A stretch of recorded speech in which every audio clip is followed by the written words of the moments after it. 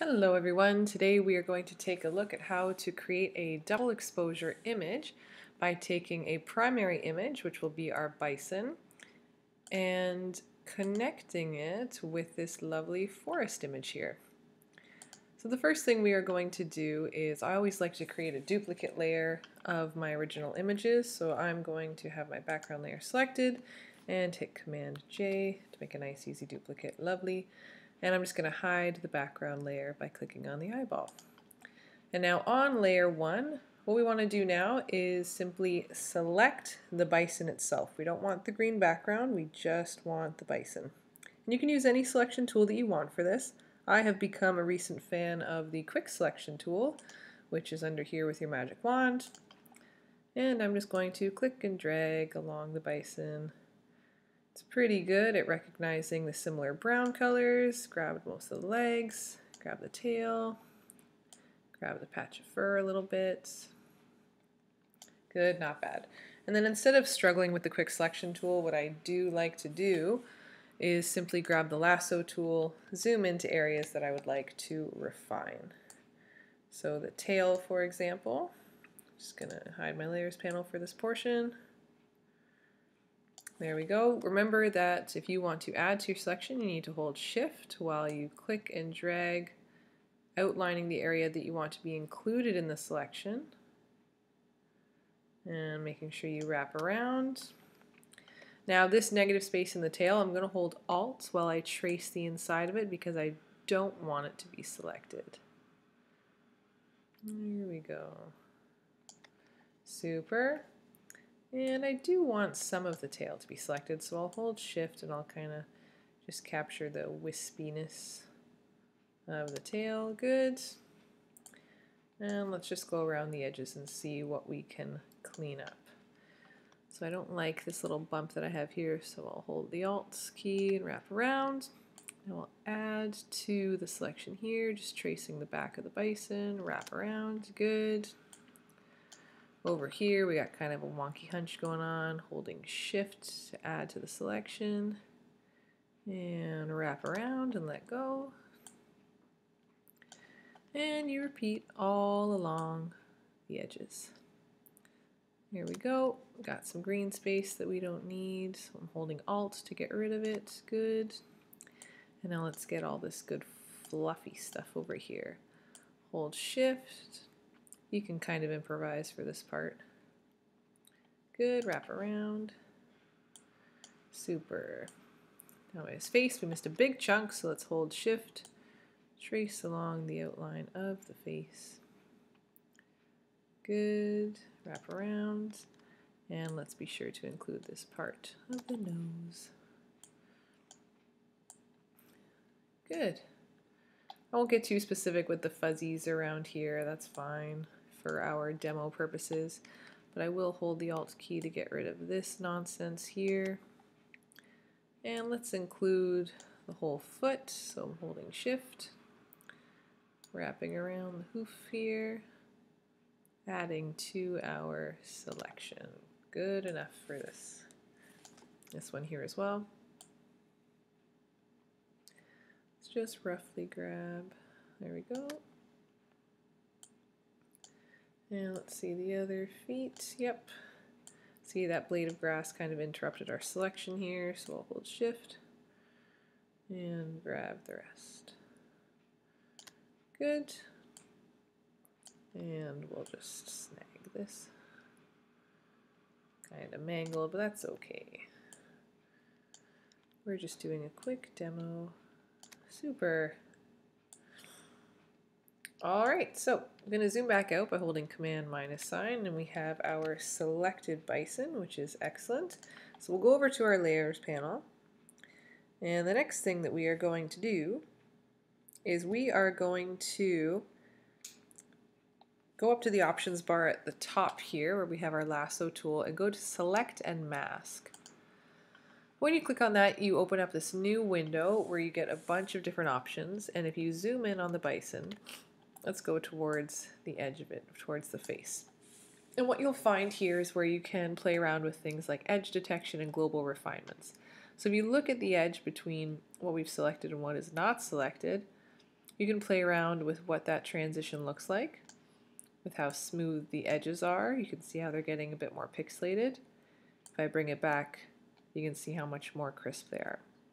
I kind of like them to be a little bit faded actually, so I'm going to go up to maybe about 20. Pardon me. And for feathering, play around, see what you like. So that's a bit too much, but you can see what the overall effect is.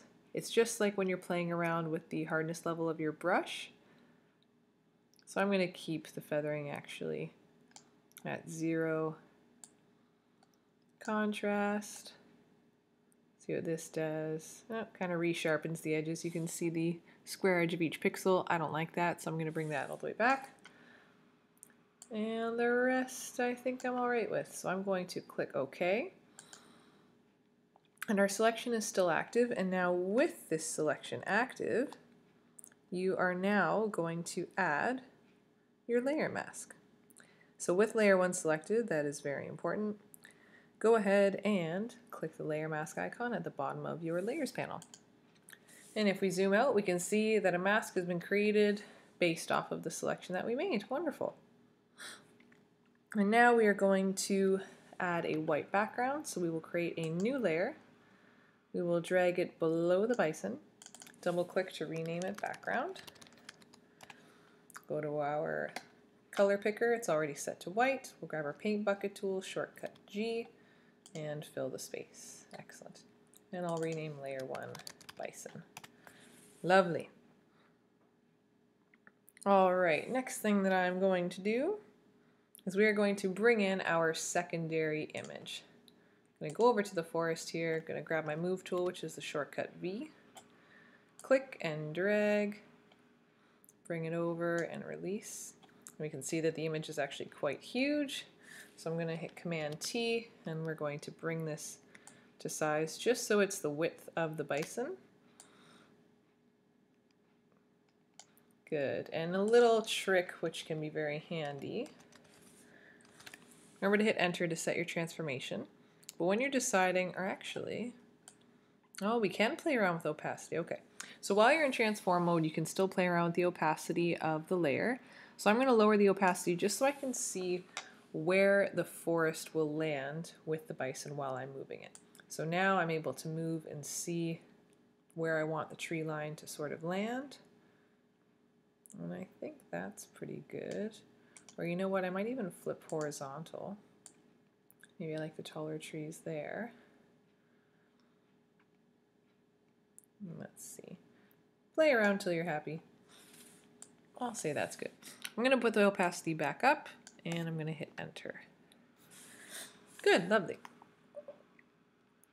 Now the next step is to begin making simple edits to the secondary image, which is our forest. So I'm going to rename layer 1 forest.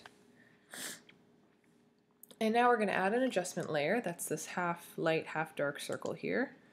And I'm going to play around with the contrast and brightness a bit, which is right here. And I'm going to take the brightness down just a bit. And I'm going to pump up the contrast. I really want the trees to be what stands out. Good. Awesome. And then if we go back to our layers panel, I'm going to hold down the Alt key and hover between my brightness layer and my forest layer. And I'm going to click. And now that just means that this adjustment is only being applied to the layer below it. And I'm also going to add a hue and saturation adjustment layer. And all I want to do is make the greens even greener for this one. Pump it up to about 25. And I'll go back to the layers panel, do the same thing, hold down the Alt key. Perfect. Alright, now here is a trick that I just recently learned that's going to help us merge these two images together nice and quickly. So remember, you can play around with the size of your layers icons. So if you click on the negative space here with a left click, you can play around with the size of the thumbnails. And I'll go large for our intents and purposes now. Alright, so what I'm going to do is I'm going to have the mask of our bison selected and what I'm going to do is hold down the command key and click on this mask and watch what happens over here with the forest. So what it's done is it has selected the outline of the mask. And now with this selection currently active, I'm going to go back to the forest and I'm going to add a layer mask. And now we see that the forest is in perfect silhouette form with our bison, which is great. Remember that we're not going for just a silhouette. We're not going to stop here. We want the two images to be interacting with one another. So now we are going to make the bison more visible. I'm going to adjust the opacity of our forest layer. Make sure that you're actually clicking on the layer itself. And I'm going to drop it down to about 80. Good, you can already see some of the bison's features coming through. And then on the forest mask, I'm going to grab my brush tool, shortcut B. I'm going to play around with a low opacity, make sure that my brush is feathered, so that will be at zero hardness. And remember that the square brackets can adjust the size of your brush. And I'm just going to try to reveal. Oh, so you see my color right now is currently set to white which is revealing the forest that we just masked. So let's go back a couple steps. Remember that to take away, because we're trying to remove some of the forest from the bison's head, we want to have black as our foreground color when we're using the brush. So a shortcut to change your foreground and background color is just X. Now black is my foreground. Let's try again. Good, there we go. We got the bison's head showing through and you can see the effect on the layer mask here. And I'm just kind of going to lightly trace around the edge of the bison just so we can see some more of its texture. Good. And now I'm not a fan of how the hooves were traced, so I'm going to go to the layers panel um, for the bison and I'm going to actually just full on try to remove the feet by just going over them and we still have, and actually I'm going to up my opacity for this because I don't want the feet to show at all. Good. Now let's do the same on the forest layer. Good, just kind of have them fade out. Good, nice. All right, so play around with the opacity of the brush and everything until you're happy with how much of the bison is showing through. The key to the double exposure effect that we're trying to get through is that both images are interacting equally. So we didn't just stop with the forest being silhouetted in the outline of the bison. You can see the texture of the bison showing through the forest, but the forest is still very prominent. And now, another cool technique to unify this new composition is to add a gradient or a color on top of all of this. So I'm going to go to the adjustments at the bottom here, and I'm going to go to gradient. And up here for gradient fill, going to choose this purple and orange one. Looks very drastic right now. Alrighty. And I'm actually going to unlink it or actually no, I'm going to click and drag this whole thing and put it right at the top of everything. There we go. And now I'm going to change the blending mode to overlay and drop the opacity way down, maybe to about 40% or so. There we go. Good. Actually, I wonder what soft light would do. Oh, I like soft light. lets the green show through a bit more. But everything's still looking very interactive right now. Excellent, good. Once you're happy with the aesthetic, we're going to move on now to turning this into more of a poster. And a cool trick that I learned recently is that you can actually use the crop tool, which is over here, shortcut C, to create new size for your canvas. So I'm going to hit Command minus sign just to zoom out. And with these boundaries now, you can pull up to add additional space to your canvas. And when you're happy with it, you can click the check mark or hit enter. Super. So now we got the transparent space here, but all we need to do to fix that is go back to our background, use our paint bucket and fill it with white.